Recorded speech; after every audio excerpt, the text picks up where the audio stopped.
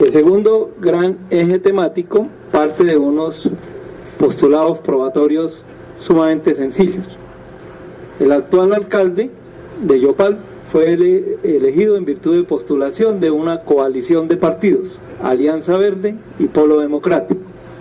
La otra, el Consejo Municipal de Yopal, para el periodo en curso, quedó conformado, entre otros, por el Partido Liberal Colombiano y el Movimiento Social La Bendición, cada uno con dos curules.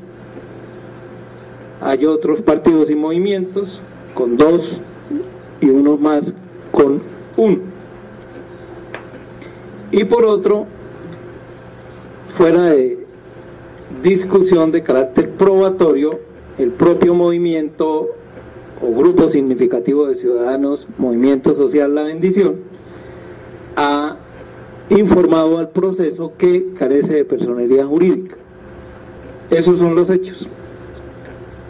El tribunal los estudia y desarrollará en la redacción escrita del fallo en el espectro de los artículos 112 de la Carta Política y 22 de la ley 1551 de 2012.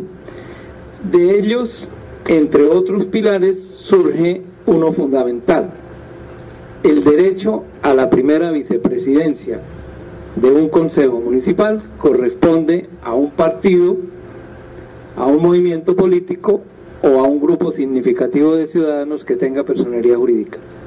Sin ella, pierde no el estatuto de oposición, no el derecho a ejercer oposición, no otros derechos propios de la oposición que están en el ordenamiento, sino específicamente al de ocupar la primera vicepresidencia de la mesa directiva del Consejo. En consecuencia, la sentencia declarará la nulidad de la elección y en ella se desarrollarán los demás ejes temáticos de la discusión. Así se anuncia con decisión unánime.